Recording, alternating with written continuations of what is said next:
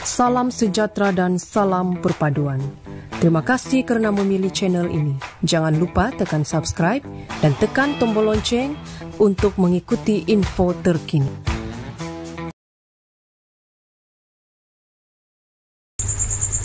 Pelakon dan penyanyi Eli Maslin mengakui kesal dengan sikap sesetengah pihak yang tergamak menganggap dirinya sebagai pencabar dalam industri seni. Menurut Eli atau nama sebenarnya Sharifah Aida Maslina Syed Hanafi, dia sedar wujud pihak yang memandang dirinya seperti itu, terutama selepas dia memenangi anugerah pengacara TV popular di Anugerah Bintang Popular ke-35 tahun lalu.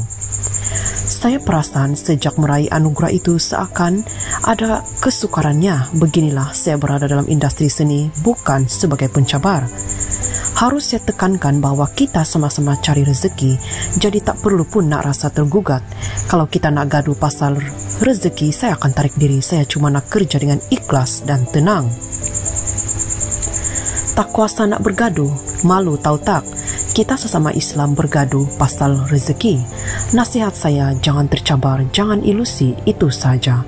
Matlamat saya lebih baik kita bersatu daripada kita bercerai, katanya. Selain itu ditanya sama ada dia pernah diboykot gara-gara tindakannya mempertahankan diri sebelum ini, kata Eli dia lebih selesa kekal bersikap positif kerana mahukan ketenangan. Saya jenis siapa nak kawan, silakan saya akan sentiasa berbuat baik.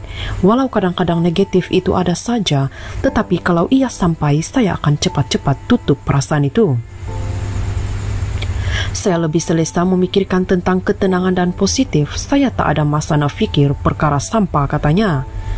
Pelakon kampung people itu sebelum ini pernah terkait dengan Spekulasi kononnya telah disindir seorang rakan artis yang kurang senang dengan gelagat dan cara pengacaraannya yang disifatkan terlalu gedik semasa mengacarakan program All Star Gegar Vaganza.